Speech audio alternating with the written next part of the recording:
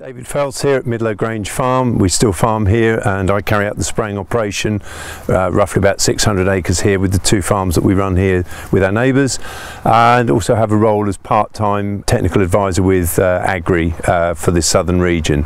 So when we're looking at getting the best out of our residual herbicide chemistry, it's important to start right back at the basics. So really important to look at getting the seedbed right, which actually relies upon having the right drainage, the right soil structure so we can get the best uh, crumb structure into which to place the seed, which then gives us both good soil coverage, so that that's protecting the seed from the residual herbicide, but also if we've got that fine crumb structure, it will mean that we get uh, a good uh, layer that will hold the chemical in order to retain its effectiveness against the uh, weeds that are going to come through at some point. When we're looking at the coverage of the seed, a good target is around about 30, 35 millimetres.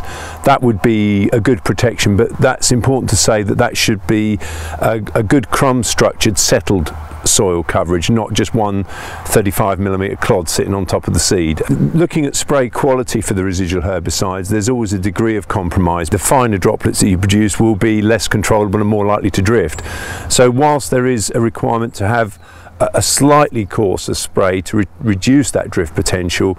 Nevertheless, it is important to retain a good number of droplets in the spray spectrum in order to create enough coverage of the soil surface. So there is a trade-off again uh, with water volumes whereby using a higher, slightly higher volume, let's say 200 litres a hectare compared to 100 litres a hectare, uh, there is now quite a lot of evidence to show, a lot of trials work to show a much better result from the 200 litres compared to the 100 litres uh, used for the residual herbicides. I think it's well worth checking that nozzles are the right sort and up to spec uh, because that can have a huge influence on how well the products are applied at the end of the day.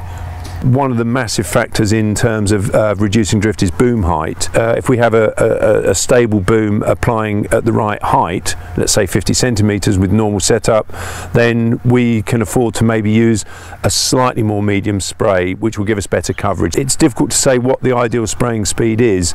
I, if I had to pick a number for many average situations, I, I would say that 12 kilometres per hour is a reasonable compromise between getting on and doing the job but retaining a degree of control over the boom.